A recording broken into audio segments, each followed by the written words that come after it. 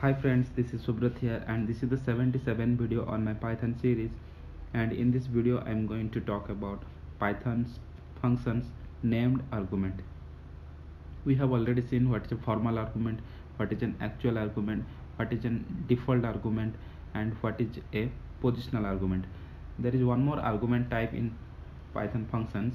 We have a named argument. Let us understand that. So let me explain you with one example. Suppose I have defined my function this is my function I have. Suppose this is the name parameter I am passing. And suppose m is the message I am taking. And I am taking suppose location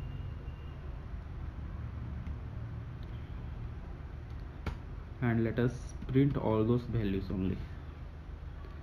Let us print name msg and location.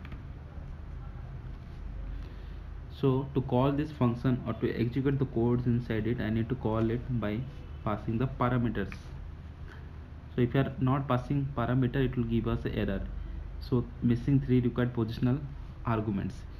It is asking for the arguments. You cannot pass an empty value. You if you have declared with uh, parameters you should pass while calling the parameter values.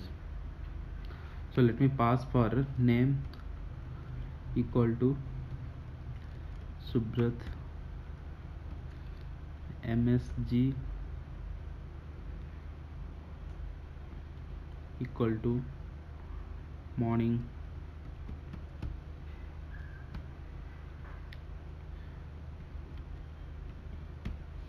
Location equal to India suppose.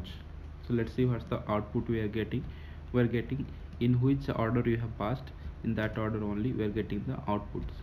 So we need to understand what is a named argument in this case. Suppose I have passed in this order. Let us change some different order let us at first pass msg as an parameter then use the location and then the name. So in this case also i'm getting the same output. That means if you are changing the order also it is not getting affected. Because you have used the name here. So for the message i have mentioned the value. For the location i have mentioned the value for the name I have mentioned the value. That's why it is getting compared with the parameters name here and it is storing the value inside that.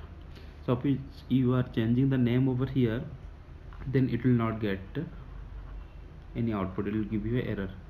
Get an un unexpected keyword argument name one. Because as you are using the named argument the name should be matching. Here name is matching over here and here msg is getting matched here and here location is also getting matched here. That's why in any order if you are passing the values also it there is no issue here. It is getting updated inside the formal arguments.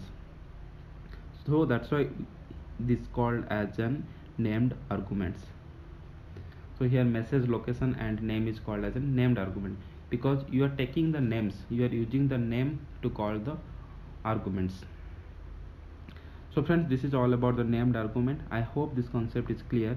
If you guys have any doubt regarding this you can leave a comment under my video. Thank you